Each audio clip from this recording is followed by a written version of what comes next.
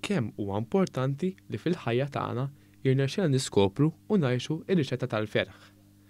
Dan qalu l-Isqof t'Għawdex Dun Anton Teuma f'messaġġ għal Jum il-Milied fejn spjegalna li jekk inħarsu lejn il-ġrajja tal-Milied, l-anġli lir-rgħajja ħabrilhom ferħ kbir. Ferħ li l-Iben t'Alla sar bniedem. Huwa spjega li llum il-ġurnata hemm diversi aljenazzjonijiet li ma jagħtux il-veru ferħ li qed ifittex il-bniedem. Il-Milied hu l-mument li fih ilkoll kemm aħna, il-familja ta' Alla, aħna l-Insara, infakkru lil Alla li jsir bniedem bħalna u li jagħtina riċetta partikulari, riċetta preċiża, speċifika ta' kif tkun ferħan. Kemm hi ħaġa importanti li fil-ħajja, kemm indumu ħajjin, jirnexxilna niskopru din ir-riċetta tal-ferħ u mhux biss niskopruha imma wkoll ngħixuha, għax inkella nkunu ħlejna ħafna żmien.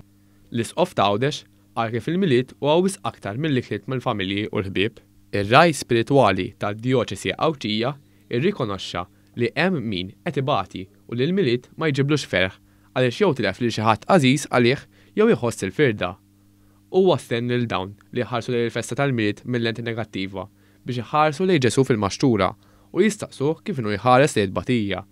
L-Isqof ta' Għawdex spjega li l-ġrajja li seħħet aktar minn elfejn sena ilu f'għar ġewwa Betlehem ilġenna nirriflettu fuq il-qagħda tad-dinja bħalissa fejn ħafna Nsara Huma ppersegwitati, huma vittmi ta' persekuzzjoni u gwerra. Dan il-Milied, jalla jkun għal kull wieħed u kull waħda minna, b'mod speċjali għalina l-Kristjani, għalina l-Insara li nemmnu, xewqa kbira ta' bidla tal-qalb, biex, l-ewwel qabel kollox, infittxu l-ferħ tagħna billi nippruvaw nagħtuh lill-oħrajn, u nfittxu wkoll l-ugwaljanza fid-dinja billi nemmnu nirrispettaw lil kull bniedem bid-dinjità u bid-differenza li għandu.